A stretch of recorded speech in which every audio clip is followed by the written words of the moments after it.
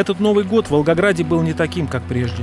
Трагедия, унесшая жизни десятков людей, заставила многих перестать верить в чудеса. Наряженные елки одиноко стояли на опустевших городских площадях и в парках. Бенгальские огни заменили поминальные свечи, а праздничное настроение – слезы, скорбь и чувство незащищенности. Люди продолжали нести цветы туда, где в канун Нового года произошли теракты. Вот краткая хроника этих событий. 29 декабря в 12.45 прогремел взрыв на входе в здание Волгоградского железнодорожного вокзала. В этот день из-за отмены всех авиарейсов большинство волгоградцев и гостей города отправились за билетами на поезд. Взрыв был такой силы, что людей разбросало словно тряпичных кукол. Смотрю, все разрушено, дверей нет, стекол нет, люди лежат тут. Он позвонил, говорит, давай, я тебя буду ждать в вокзале. То холодно, говорит, или ты меня в вокзале жди, а то холодно на улице. Ну и все, и Не прошло и 20 часов, как городу был нанесен новый удар. Утром 30 декабря мощное взрывное устройство сработало в салоне троллейбуса, переполненного людьми. Кто-то спешил на работу, кто-то за новогодними подарками, а кто-то из-за гололеда стал пассажиром этого рокового рейса. Подошла к автобусу, а там девушка, ну, нога сломана, короче. Ну, что-то с ногой все крови было. Но она, видно ли, просто проходила, волну ударил. И мужика рука водителя, а его нет тела. Нет тела, а только рука осталась. Я потом, я не, я не смогла это смотреть, я ушла.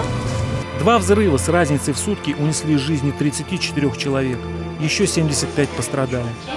Лучшие врачи страны прибыли в Волгоград, чтобы помочь пострадавшим. В настоящее время почти четыре десятка человек продолжают лечиться в самом Волгограде. 23 пациента перевезли в клиники Москвы и Санкт-Петербурга на спецбортах МЧС России. 10 раненых по-прежнему находятся в тяжелом состоянии. А основные повреждения – травмы минно-взрывного характера, ожоги, поражения вторичными элементами боезаряда. Умерли больные, которые исходно имели травмы, несовместимые с жизнью.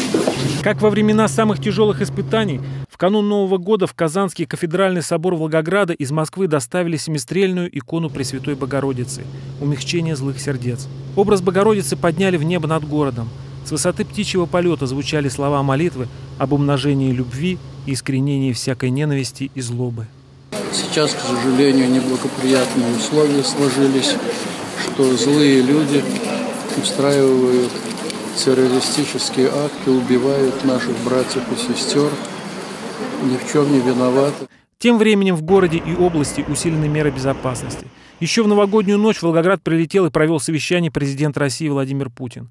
Все ведомства и службы работают в особом режиме в связи с повышенным желтым уровнем террористической угрозы.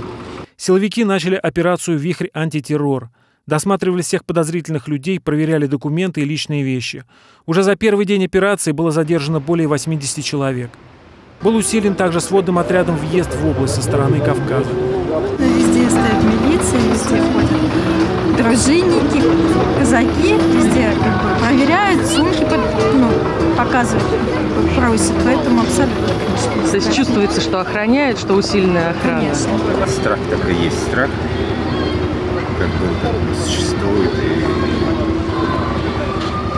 расслабляться не надо. Но постоянно жить в состоянии страха и тревоги невозможно. Человек должен взор свой всегда простирать вперед в своей жизни, оглядываясь назад только для того, чтобы быть наученным не повторять своих ошибок и ошибок своих близких. Храни Господь вас. Девять дней с момента второго взрыва пришлись аккуратно Рождество.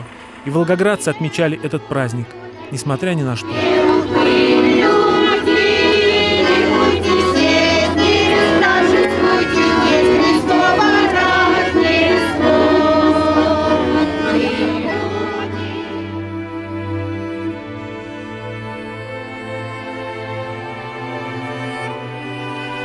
Полицейские, дружинники и казаки дежурили на остановках, в торговых центрах, в театрах и в людных местах.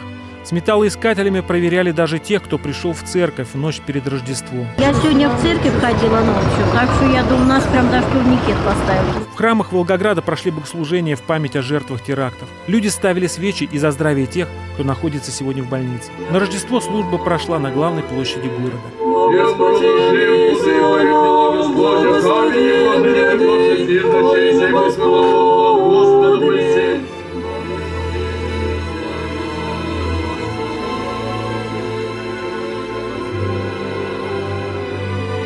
Сразу после богослужения площадь опустела. Ни нарядные ангелы с тысячами шоколадок, ни рождественские песни и хороводы волгоградцев не привлекли. Воспоминания о трагедии еще слишком свежи в их памяти.